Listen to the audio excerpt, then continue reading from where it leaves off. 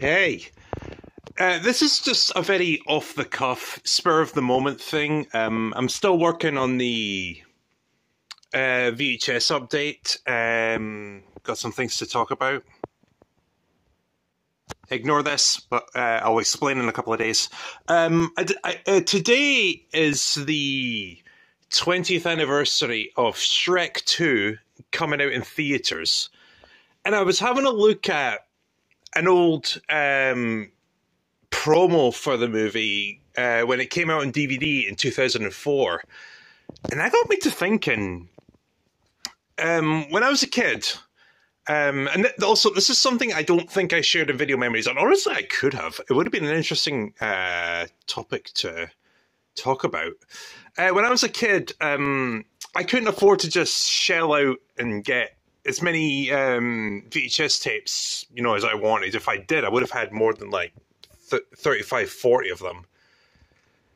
So I would have to reuse um, tapes whenever I saw something was on and just never think about the long term consequences of it. And I mean, think back then, the 1990s and the 2000s, even before that, if you were there in the 80s, there was no, there was never any thought about saving uh, old vintage TV recordings for like a like an audience. Um, you're only saving them for yourself at that point.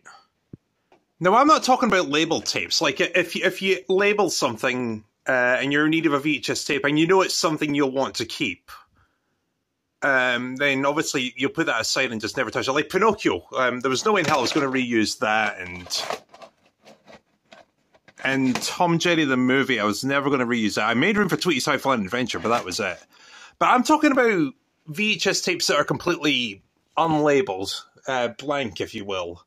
Uh, I mean, if you think back to when Recordable Freddy started, um, it all started with a shoebox of completely blank tapes. Well, mostly blank. Um, Tom Jerry was labelled. Pinocchio was labelled. I think this Cartoon Cartoons tape, it had CC on the front, so I knew what that was. But the rest of it, unlabeled.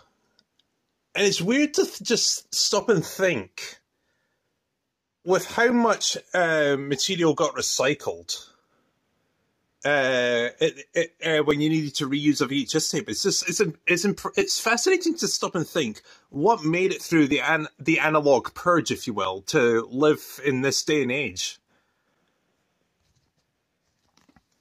I mean, like I said, Pinocchio from Christmas 1999. Um, there, there was no way I was going to get rid of that, but I mean, think about the Nick Jr. party. How many people actually knew about that before I posted that? And that was six years. That was seven years ago.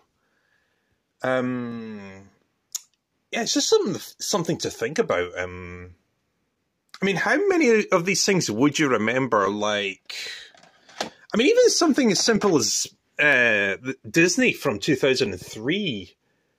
Um, it was it was just an early morning uh, collection of cartoons I used to watch. I mean, think about Zoom. Uh, people used to watch the, uh, that Disney brand all the time, and I'm pretty sure it was on the radio as well. You would never remember it if you didn't have the, the recordings of it. I mean, the cartoon cartoon tapes, um, you know, I remember them even if they weren't labeled, and even before I had the VHS collection, but what about something like the DeLorean car crash uh, documentary? I recorded this because I was a Back to the Future fan. I don't know why I kept it. I mean, look at all the stuff underneath it. Yeah, just imagine if I if I overwrote the the the DeLorean documentary. Until it showed up on YouTube, I would never think about it. I would I would I would think I just imagined it it's not a very interesting documentary if all you want is Back to the Future. So, hey. So yeah, this is just something I wanted to talk about, and very spur of the moment, but sometimes these things just come to you. Okay, bye.